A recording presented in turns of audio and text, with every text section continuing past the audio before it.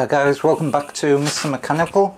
Um, so I've mentioned in the previous videos that I've been waiting for a Ooznest Workbee CNC router and it's arrived just last week.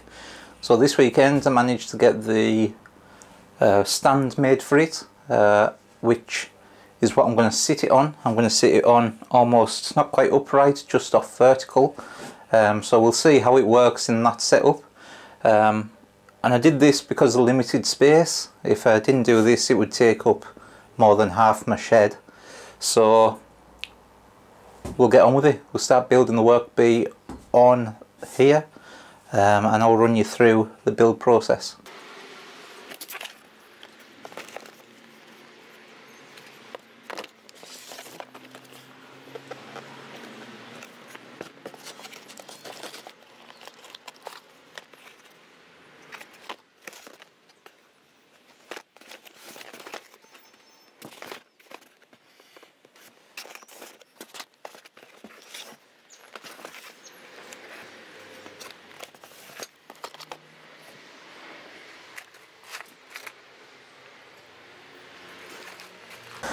Okay, so I was hoping to video every part of this assembly, but I thought the first step was a step too far.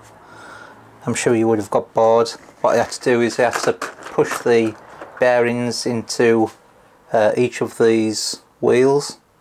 That was the first step, and there's quite a few of them there. So, didn't want to bore you with that. I'm sure you understand how they go together. There's a bearing pushed in each side, and there's just a little shim like a washer between the two bearings in the middle. All the instructions for this build are online. Um, they're at learn.ooznest.co.uk. Um, there isn't a physical copy of the instructions supplied, so it's all online. So the next step is to assemble the Y plates um, and we're going to put on the other good thing is um, all the parts are in labelled bags. So there's no doubt over whether you're using the right part or not. And they use the exact name of the part on the bag in the instructions so you can't go wrong. So um, I've got a sheet here just off screen. Um, and it's a picture of all the plates um, that are in this box and it tells you which are which. So we're going for the Y plate which is this big square one in the middle.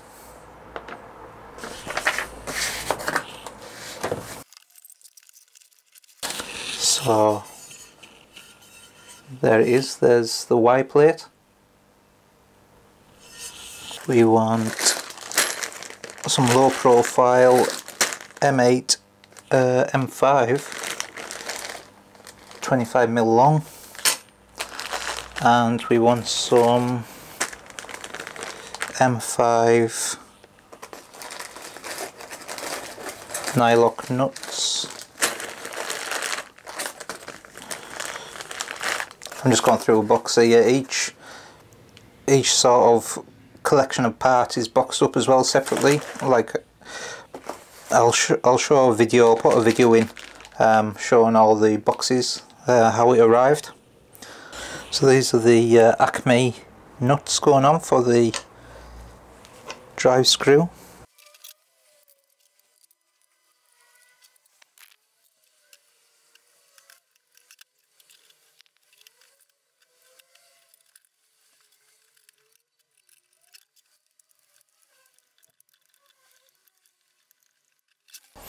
Okay, so the next thing it tells you to do in the instructions is to um, put the Acme screw through the two nuts. Um, I'm guessing that's just so you can align them with each other.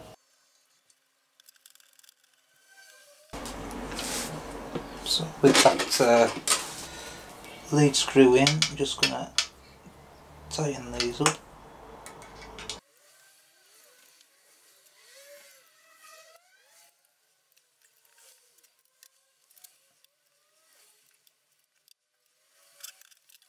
Okay, so the next thing is to start assembling the wheels for the V grooves in the aluminium extrusion um, onto this Y plate.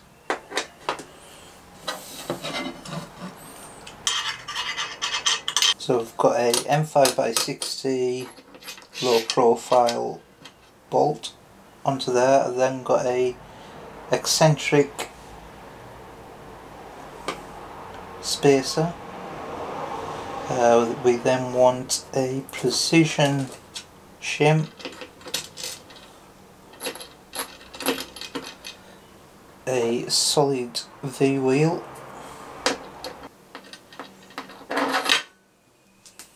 got an aluminium spacer. Another solid V wheel precision shim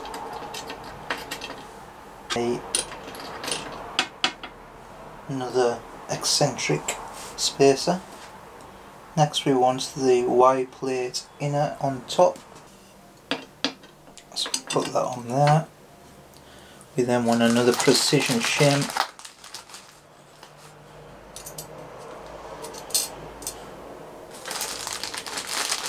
And then a nylock nut.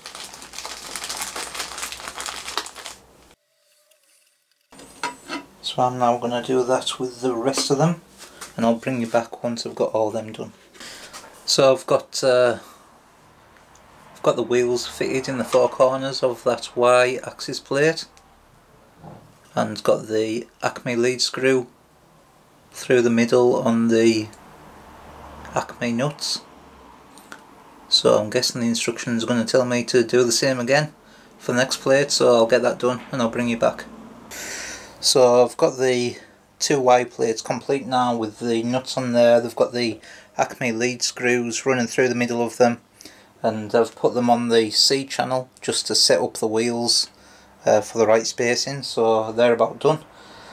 Next thing to do I think is to put the is to put the um, stepper motors on this plate so we'll do that next. So the next thing to do is to put the NEMA 23 motor on. It's going to fix in this location here with the wire towards this hole in the back. And there's threaded holes in this plate for this.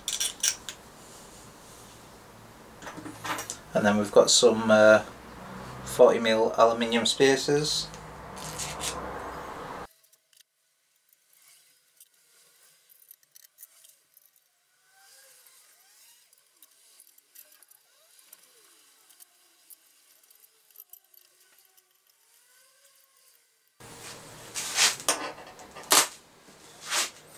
that's the motor on there now.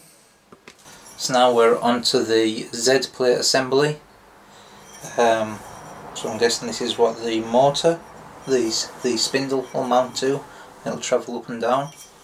So there's wheels put on this, so I'll do that, and then I'll bring you back, um, show you anything um, exciting or different to what I've done already. So next thing I'm going to do is just going to put on the the um, Acme nut uh, for the Z-axis. So that goes into the middle set of holes in this plate.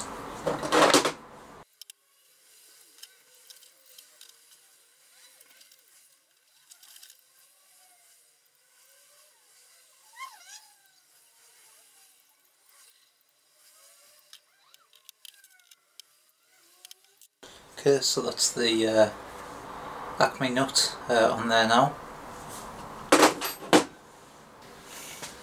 So I'd say the next thing to do is to put the Acme nuts on the x-axis plate, that's the z-axis. Here is the x-axis. So we'll do that now.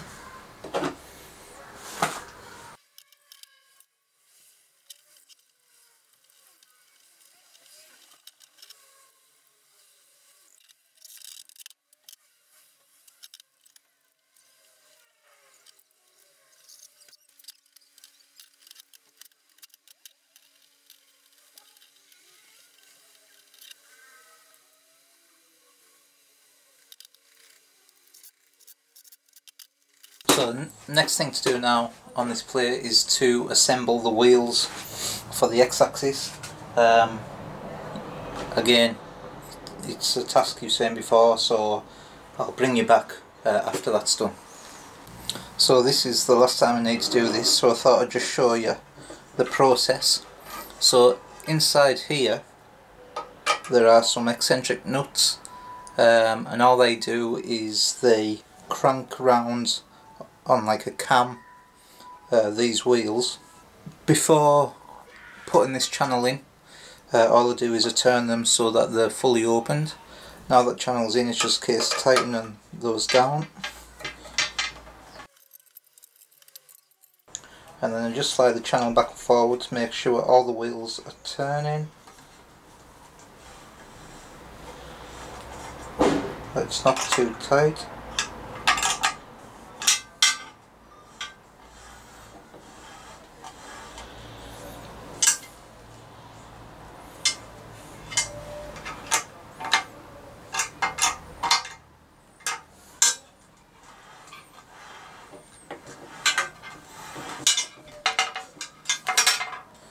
So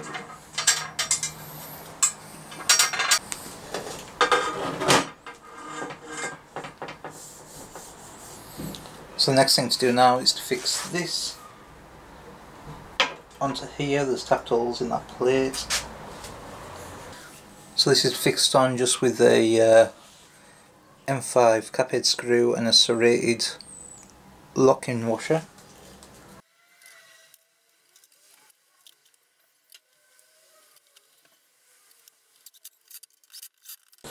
So we now have the Z extrusion to go on here. So we're going to slide this on.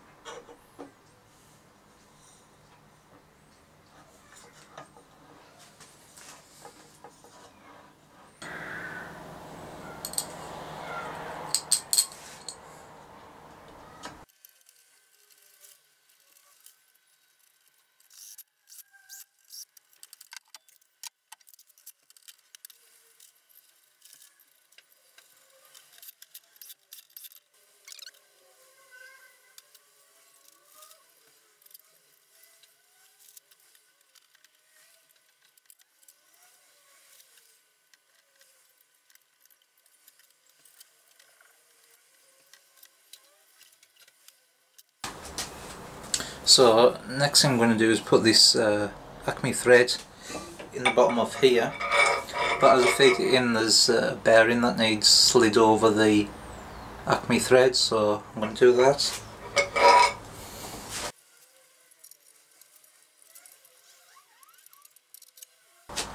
So there's a, a lock collar to go over that thread as well.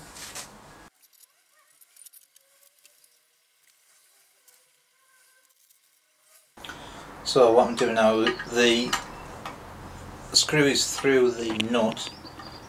Um, now it's through, I'm just adding another locking collar. That's on.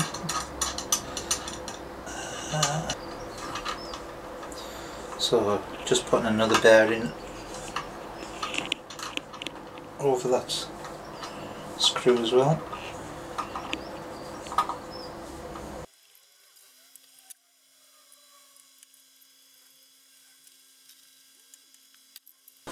So that thread is now right through there and it's now inside the collar on the NEMA motor.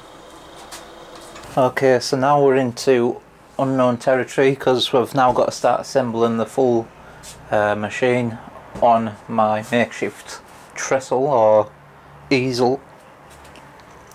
I've got the two y-axis plates that you saw me put together. Um, got the other one this side with the NEMA stepper motor on. Um, now need to put the gantry together. Um, the first part to go in is this 20 by 40 aluminium extrusion so I'll get that fitted.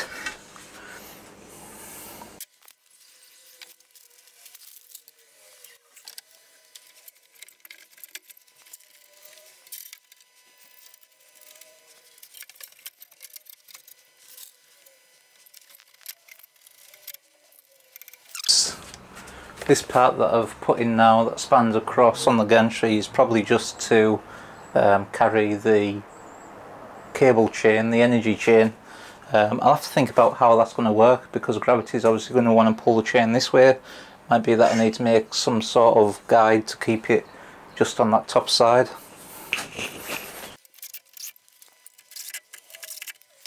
Okay, so that's uh, pulled it together quite nicely.